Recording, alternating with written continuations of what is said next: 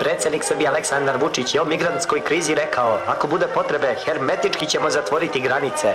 Pa ako se podavimo, bar smo se podavili kao Srbi. Predsjednik Vučić je rekao, najbolje bi bilo za neke da budem stavljen u izolaciju do 26. aprila. Ma i duže ako treba, dragi predsjedniče, i duže. Predsjednik Srbije Aleksandar Vučić je pozvao građane da kupuju srpska vina. Tako je predsjedniče, u vinu je istina, a, a ne, ne, ne zbog toga.